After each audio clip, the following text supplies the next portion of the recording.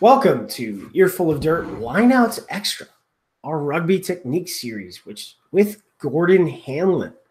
Today's episode is something he's been been beating me up about for a long time now. He's like, "When are we going to do the Scrum episode?" And I was like, "Well, I got to get like the people lined up." Well, we'll have the people lined up first, though. Let's get our technical knowledge on the overall idea of what Scrum is, and then we'll, we'll we're going to get into some styles with some other coaches along the line. But Gordon, how are you today? Uh, I'm good. I'm good. You didn't uh, make an attempt to pronounce the club name. Uh, okay. Okay. Here we go. Here we go. TSV Handelsheim. That's getting better. There, there we go. Really good. Actually, that was probably the best of the group. Yeah, I talk about scrums. Um, I absolutely love scrums. Uh, I know I'm. Well, you know, I was like, you were fly half, and you were like, oh, no, oh, oh, oh. no. I played flanker, and I was a uh, prop. I was, I was like, a prop. Yeah. So when I was school, eh, in school, I went to Belvedere, and I was um, put it in American terms, uh, like 220 plus when I was like 15, 16. And so I played prop all, all, all my young life, and I really, really enjoy it. But scrums are something that I love because it's probably the only point in the entire game of rugby where a large group of people actually have to work together versus another large group. You know, an individual piece of brilliance isn't going to settle a scrum. Um, there's not many other sports like well, I guess rowing when you have your your eight man they have to work together in unison, and, and that that's why, like, regardless of where I've coaching in New Zealand, Portugal, or, whatever, America, if I'm coaching backs, we, if we get a penalty against the head or we win a scrum against the head, uh, you'll hear me just screaming in delight because I absolutely love it. I, I, cannot express just how much I love it. It's it's it's it's the most technical aspect of all uh, all of the game. It's the aspect that requires the most amount of work. It's the aspect that requires the uh, biggest or most attention to detail, and it's also the most overlooked aspect in the entire game of rugby at the moment. Um, and I think it's like I, I do cherish them, and it'd be a sad day if they take the scrumming out out of the game. That's what I believe. Um, well, that's rugby league. Yeah, yeah, yeah. So, let's talk about the purpose of and define the scrum. Okay. Well, uh, very simply, the scrum is a way of uh, restarting play, just like a line out, just like a kickoff, and there are some maybe some free kicks and stuff. But yeah, that it, it is the just a way of restarting play. The purpose is it can be different depending on your principles or what you want out of the game. You know, some people will use scrums, uh, let's say in England, to to win penalties. Others want to use it as a platform to launch attacks and score tries. Others want to use it as a way of like tiring out their their opposition. Um, so your your the purpose is, is really dependent on um, who you are what your team principles are and, and what you want. So, so that digs a little bit into the purpose and because yeah. it's being different, but what is, I guess, to the layperson, what is the scrum in general? Uh, okay, it is um, usually you'll have uh, eight eight versus eight. The the three guys at the front are generally the three smartest on the team. All props will tell you that. Um, so you've got eight on eight. Uh, you guys come together, the ball goes in, and, and then you play from that. It is, though, I believe it is the single best attacking platform that there is in, in rugby because it, it, you have your eight forwards and you also have the number nine. You have the most amount of concentrated players in such a small space, and um, you get to you know you get to restart play, but you also have these huge attacking opportunities, which I think teams sometimes that the purpose is lost in that. Um, like uh, the best way I've had it described to me. So I, I was very fortunate um, to be able to watch a lot of rugby with uh, one of the best coaches in the world in um, Mike Cron. And one time we were watching the Hurricanes play the Jaguares. And, and again, we talked about different styles. So the Argentinians scrum very differently than the New Zealanders, who scrum differently than the French. And, and, and I asked him about, well, why do these, what, why, what is this differences? And his answer was very simple. It's, you know, not everyone likes steak. So, you know, if you go to a restaurant, you know, there's there's many different things in the menu. Some people believe fish to be better. Some people prefer uh, vegetarian or vegan meals. Some like uh, chicken. But there's there should always be there's always steak there, and steak was what, what he believes to be the best way, and, and it's kind of like our, our philosophies align quite closely on that. Um, and yeah, we could we don't think we won't get into this too deeply. That that, that can be for so other experts. So, what's your version of steak? Uh, it is um, it's top quality ball. As I said, it is the the best attacking platform with the most amount of defenders in a concentrated area. So it gives you the most amount of space on the field. So top quality ball is, is, is what you want your scrum to be. Um, and just just for example, I, I just I pulled up some numbers. Um, if you look at the uh, the All Blacks in 2016 and 17, right, they scored three times more tries from scrums than all the other rugby championship teams combined. Um, if you look at the World Cup in 2015, like take for example, the great example is um, I don't know if you remember the New Zealand France game. So France had I think eight or nine scrums, and they won 100% of their scrums, but they had 0% top quality ball. So if you don't have top quality ball, you can't launch attacking platforms. Whereas the All Blacks average like 95% win ratio, but 90% of their scrums are top quality ball. Um, and to bring it back to like so, so my team here this year, um, we in games that we won, the opponent had five percent top quality ball all game in the set piece. In games that we lost, that number was 28%. And, and the reason that's important, I bring it up, is because we're actually very close to, uh, like MLR sides are closer to us than they are the All Blacks. I think that's a fair assumption.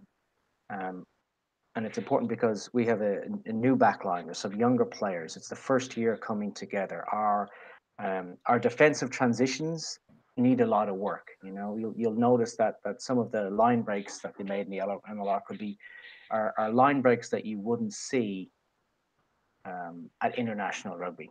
Not because of the quality of, of athlete, it's just because it's it's the first year and, and experience uh, hasn't got there yet. You know, we are a forward dominated team, like like a Seattle type thing. So that means that in order for us to defend how we like, like we talked about in our defense one, we have to have a platform set and we have to be able to apply pressure. But if we are giving teams the opportunity to launch easy attacks against our backline, it puts the entire team under pressure.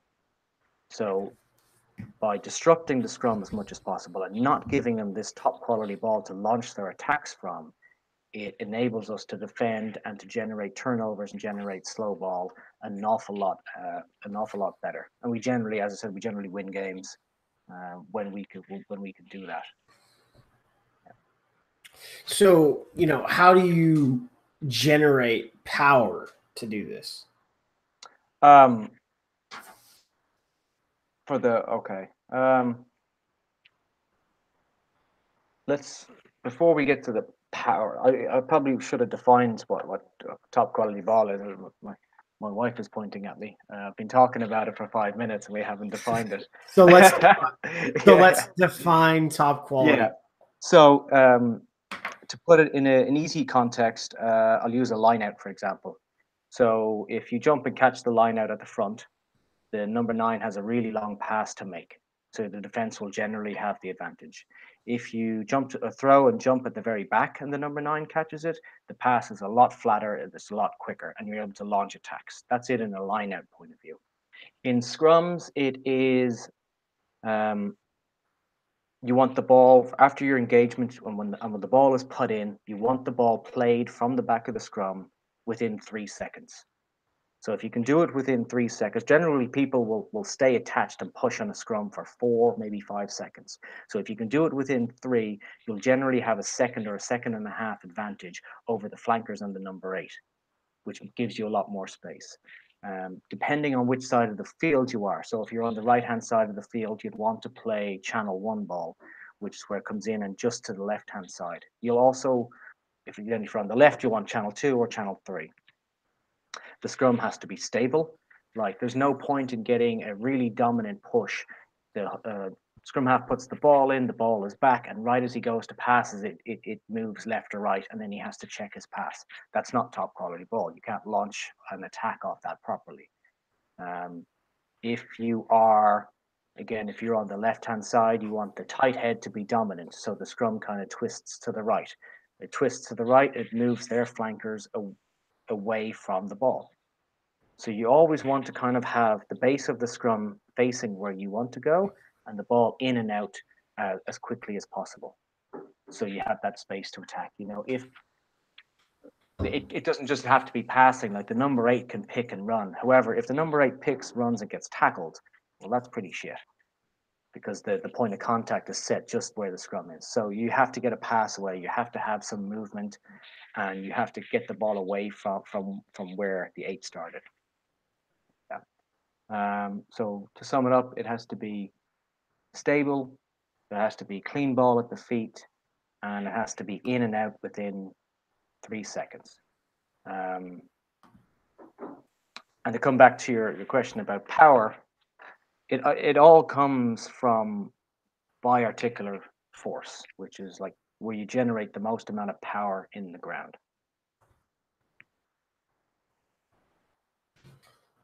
Okay. And then, you know, so power into yep. the ground, biarticular force. What's that? Um, well, it's it's it's not really so we have two types of muscles in our body, and this is more of a biomechanical thing. So there's monoarticular muscles, which is where it's one muscle goes over one joint, and then you have biarticular muscles, whereas where the muscle goes over two joints. So your hamstrings, for example, are connected to, to two joints. It's your knee and your hip. Um, and it's, it's a very simple ratio. It, it, it's how can I do a test? Yeah, so if you look at, we'll just use your uh, arm for example. So if your arm, not not your bad arm, use your good one. if, if you hold the arm straight out completely, you have the most amount of flexibility in your shoulder. Like you have the biggest range of motion, but you're not that strong. Now, if you were to clench your fist, hold your arm in tight, clench your bicep, tighten your tricep, everything, there's not that much range of motion in your shoulder, but it's an awful lot stronger. So generating power comes out of these biarticular muscles. And you want to have the most amount of flexibility combined with the biggest strength to be able to make force. And it's basically, it's a 50-50 is the ratio. So on our body, that looks like a 45 degree angle. So if you have uh, your arm out, so you, you extend your shoulder, but you bend at the elbow 45 degrees, now you have a lot more range of motion in your shoulder, but consider your biceps, your triceps, uh, and then behind that are, are, a lot tighter. And that's that's the biomechanics lesson for today. Um, but so it's how does that look like in a scrum though, which is important. Um, and the best way to do it is you look at the two points of contact. And the two points of contact in the scrum are, we'll just use props, for example, is shoulders, uh, contact against the opposition, and then your feet in the ground. So you want to kind of try to remain or keep that 45 degree angle. And so what that looks like on, on in, in, a scrum form is if you get a, a stick or you just take a, if you go watch a game, I did some work on earlier. If you watch a game and you pause it on the scrum and draw a line like you know the way on like Instagram and stuff, you can put two dots and draw a line between it. You draw a line from the point of contact at the shoulder and the point of contact at the feet, and that line should go through the knees. So if the the kneecap or the knees is below that line, that means your your hips are down and your shoulders are up, and then the power is going. You're going to be not as strong, and power is going to go upwards. But it, means you're also very susceptible to going backwards. If your um, your knees are higher than this line, then you cannot generate as much power. So imagine kind of just standing straight up and bending over, keeping your legs straight, and then trying to push. You, you, you're not going to do anything. So you always want to try and have this line. Uh, and that's what it's called biarticular force. That's what um, it's difficult because everyone's line is different. You know, I'm I'm short, but like Brodie Retallick is six foot nine, or I think he's six nine or six eight. His his angles are going to be different. So I know, like back in the day, they used to say, "Oh, you have to have ninety here, one twenty here," which for different types of scrumming, that is correct. However, when you're trying to generate the most amount of power in the shortest space, shortest amount of time possible to win the scrum as quickly as possible, you need to be in the strongest pushing position. So that's what you have to get into your head. You have the guys have to understand what the strongest pushing position is, and from a biomechanical point of view, it is a straight line going from your shoulders to your feet, which intersects your knee. Yeah. Got it. Okay. So, what are the key points of the scrum? Um,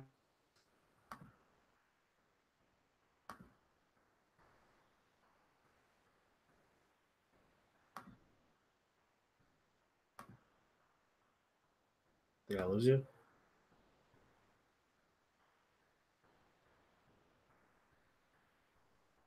I think I lost Gordon, everyone.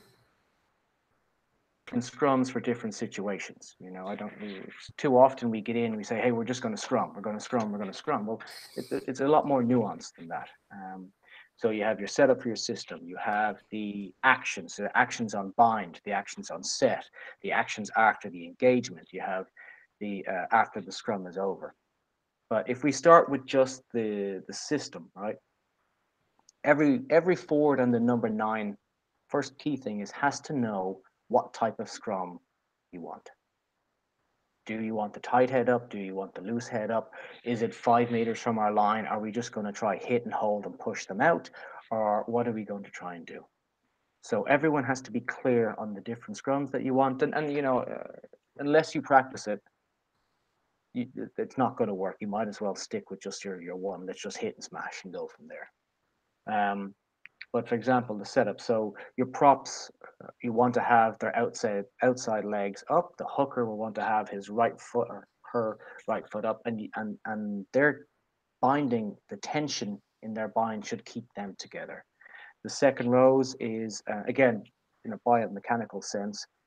We are much stronger across the chests when we do like a like a butterfly action. So when we when, we're moving in the same angles, we're a lot stronger. So so like this grip here, where I can hold my hands together and my arms are in a circle, is a lot stronger than if I have one arm up and the other sideways like that. And what that looks like in the scrum sense is you know, back in the day, you used to see the French where they they bind, so they'd have their right hand bound around the second row, and then their left arm is through the, the prop's legs, and they'll take an under underbind on the shorts. And you can see that. So so that means that their their body isn't actually working together. So they're they're working on two different angles or two different planes. So for second rows, what they need to do is their bind has to be isometric they have to try and get in and their arm up underneath the leg at an angle, and then their other arm needs to be on the same kind of angle. Um, and then you have when they, they can either be standing and engage in the scrums, which I think is better, or the majority of most teams will be kneeling. Um, and the reason why I think the standing up is better is because you can you get more tension through your core, through your glutes. Um, it's more difficult to hold, but you can get into the scrum in a much stronger position and there's less movement, which will loosen the binds as opposed to starting on your knees and then getting going up from that. Um, and the whole focus is, and then for flankers and stuff, flankers are bound, they're generally on their knees, they'll use one hand for support, um, but they have to be square. So too often uh, you'll see flankers and their legs are split, and that's okay to start with, but then they're not square. They're pushing in, they're pushing out, and they're changing the, the direction of force, which is going through the props, which causes a huge uh, decrease in power. And the number eight will have a split stance, and number eight will get his bind and his tension from pulling the two second rows uh, closer towards him. And that's your basic setup in your system. It's um, it's very simple, but very nuanced and very complex to get all of these little pieces right. Because if one one person is wrong, then the whole thing will will go. So, for example, like a scrum generates 1.5 tons of pressure at the international level, and like if a if a flanker is sent or sent off or sorry not attached to the scrum, um, you lose between 400 and 600 pounds of pressure. So it, it's absolutely huge. Um, so to go from that, I, I guess I should talk about the actions, like the binding, and just a couple of things for me anyway. The the, the binding. What's most important is on when the ref says bind is for all eight um, to breathe as one. So all eight is to take a huge breath in. So that will expand their lungs, expand their chest, their the backs will get bigger, and then the spaces will get a lot tighter and narrower. Um, they tighten the gaps. You got tension through your entire body, and again, you're focused on, as a guy, Captain in Dallas you say, promote your chest. So you're focused on your chest being out. Like, yeah, if you imagine if you have that, you're walking like that, and then you have the stick between your elbows as the back. You want to promote your chest. Put your just imagine your name on your chest, like it says Bradley or whatever. um, and then it, it just shows the difference. You can see someone that is switched on before Scrum versus someone that's not in the props. Um, like how many, if you watch international games, you look at the props, and especially the loose head, their, their left arms are generally always locked and loaded. It looks like they're ready to punch them. And so on the bind, they, they make sure to try and get that dominant um, grip. Whereas other props who are not that focused, their arms will be down. They might be resting their forearm on their knee. So you do that, and now all of a sudden your shoulder is softer, it's weaker, your back is more of an angle, um, and then you have to get straight before you can engage. So you always want to be have the tension, and, and that's really where the, where the, the, the scrums are won and lost. It, it, it's it's being ready and being acting as one before the actual engagement. So when you hear the set call, the, the, the hooker and the number eight uh, will be the trigger. They'll put their foot back and then we engage. So if you're on, if the second rows are um, have a split stance, they'll get their feet square. Uh, the flankers will also get their feet square. The props will have to really focus on being tight and on engaging. But like if you look at uh, just if you're lifting weights, you know, so on bind we've all we've all taken a big breath in and then on set, we all breathe out with force and then we hit with force. And when we do that as one, we're generally guaranteed to win the impact um, because other teams get lazy. And, and, and it's the simple things. You do that, you're, you generate more force. And that's all, that's what I believe scrumming is about. Um, and then if you can win the collision, although the collisions aren't as big as the older days, I'm sure Grant will chime in about how back in his time it used to be all about the collision. Um, you win that collision, you're in a much better place because you have the ability to engage on two different planes of force. So there's two ways we engage. One is we you go across and then you try to come down, which means you'll generally win the space but the other team might be underneath you. Or we'll try and sink and then go across. And if they get the jump on you, then we'll be um, scrunched up and not in a position, not in a yeah, position to be able to generate force. So on the first one, our knees will be higher than that particular force line, and on the second one, our knees will be much, much lower. So we want to engage downwards. um, and we do that because one, it's quicker to get into the scrum position if we're going downwards, but also it applies pressure to the opposite front row on two different planes. Um, so now they have different forces and they have to react to different forces. They might react to just one of them, and then you have a huge advantage. Um, and that's that's what you want to do there. Um, the engagement, or after the engagement, it, it's you know back in the day it used to be about a lot of footwork. Um, take big steps, get nice and strong. Like I, I worked with a prop here who every engagement, really strong guy, really strong. Every engagement though, when he felt pressure, he took his left foot, he was a loose head, and he moved it out to the left because it was easier, it was more comfortable for him.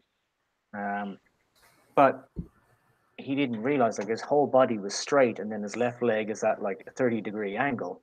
You can't generate uh, forward momentum like that. Um, so now it's about smaller steps, and the referees will give time to wait for the scrum to be stable. So you want to have smaller, quicker steps. You're always trying to be in in contact with the ground because that's where your force comes from. Um, and always be thinking this biarticular line. What is strong? What is strong? And uh, to get into that strong position. Um, and it's kind of the way I describe it is you want to like figuratively uh, you know, like walk towards the pressure instead of running away from it because the more pressure you're under, the opposition is also under pressure. And if you move yourself into a position where you're more comfortable, that means less pressure is coming off or is going on. And then the scrum is not going to be as effective. So, so scrums aren't meant to be comfortable, especially if you're in the front row. You know, this is you're not trying out an air foam mattress.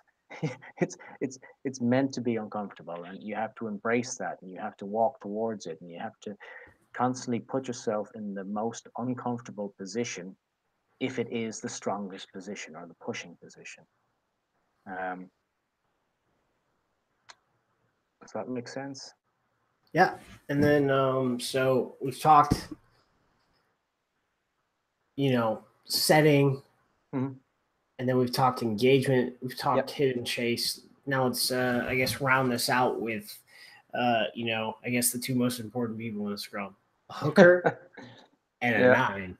Well, uh, I think these maybe, days it's, maybe it's, it's, maybe the nine's not that important, but no, no. Um, I think these days more it's the most important is the ref than the nine. um, so again, I talked about channels earlier. So if it's a channel one ball, you want it to go in and out quickly.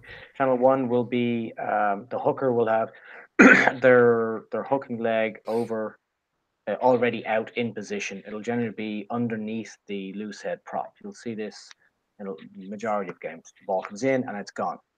Um, it's hooked quickly, and the number eight or the number nine will play it from the left hand side of the channel.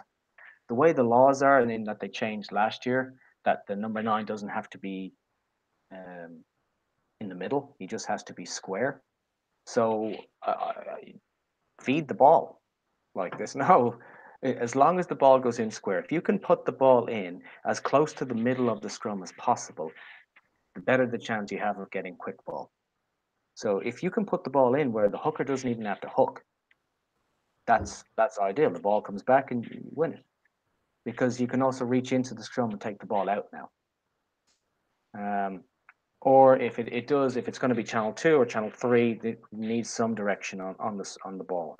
So then the hooker will have to hook it. But he's generally in a square position. He's generally trying to drive forward and he, they will just direct the ball um, straight back or to the right. Um, and, and, and that's it. That's the basis of the Scrum. It, it's very much the laws are changing all of the time. So it's getting quicker and quicker. And I feel that like to aim for top quality ball has to be the key. And I think we did some numbers, but maybe I can I'll find them and I'll send them through. We we looked at the MLR and and, and, and top quality ball statistics, and it's the teams that can do this will will win. Um, the teams that can launch their backs in a quicker way will win. They will they'll make more meters. They'll they'll get over the advantage line better. Um, and then if you can disrupt that, you're going to help your defense massively. Um, I guess I should before we round out. I should have talked about um, the best way. Just just for anyone that's listening who wants to see what this line is. If you if you use a uh, an iPad or a smartphone, um, there's an app, a really really brilliant app called Video Delay, which means um, basically press play and then you can set the delay. So if it's 30 seconds or a minute, and then the camera runs behind time. Uh, so just set it up and just focus on what strong is and what and what strong should look like on an individual basis is imagine if you if you're feet in the ground, you're on your knees and you got your hands directly underneath your shoulders, and then you pop your hips up.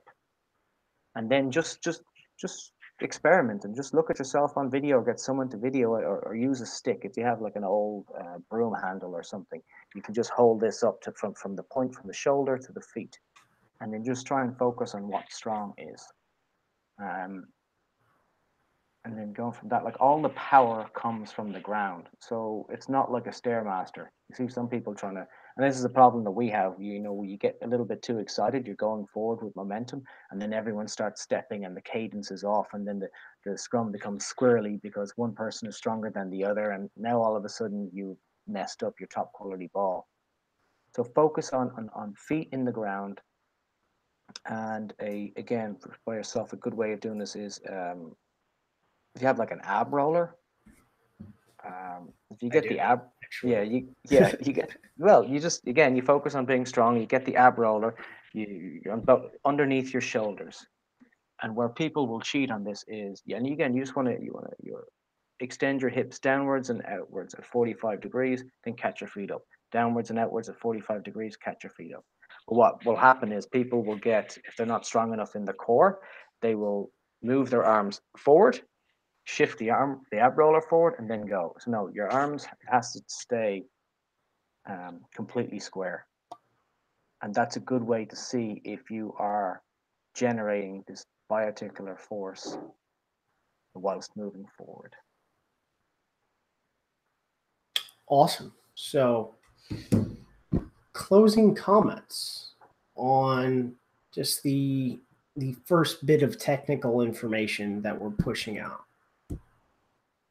Um,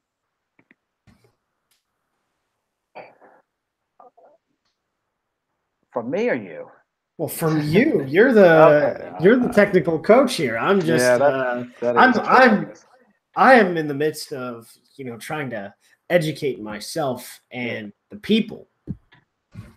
Um, scrums is a thing. If you change your mindset, that's what it is. You'll, you'll, everyone will love it. Scrums are a thing to be appreciated, and they are like if you like technical stuff, look at the scrum. If you like strength, if you like teamwork, if you like efficiency, look at the scrum. But just think of it. I, this is what I believe anyway. Think of it as a way to score tries, and the most fun aspect in rugby is scoring tries. Now, I'm sure some other coaches are going to come on and going to talk about how great it is when you win penalties and kick penalties and win World Cups and stuff. yeah,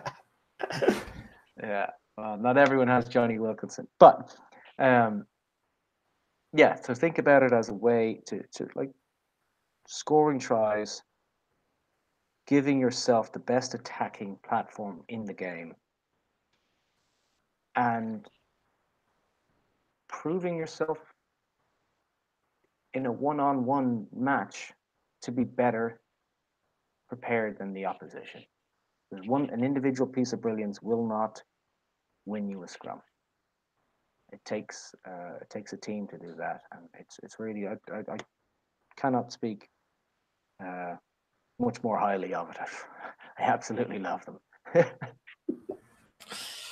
well, there you have it.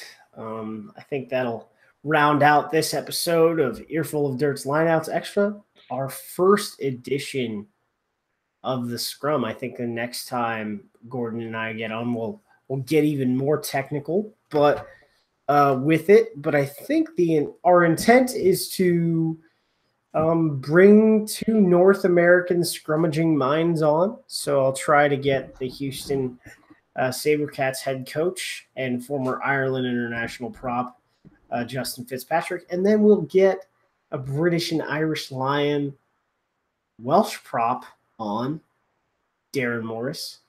And then if I can even get cooler, maybe we'll get some Alex Corbisiero action to talk scrummaging. So that will give you three different styles English, Irish, and Welsh. And that, that'll be a great time. So I'm Aaron Castro for Earful of Dirt. Uh, thank you for coming on again, Gordon. Yeah, it's a pleasure as always.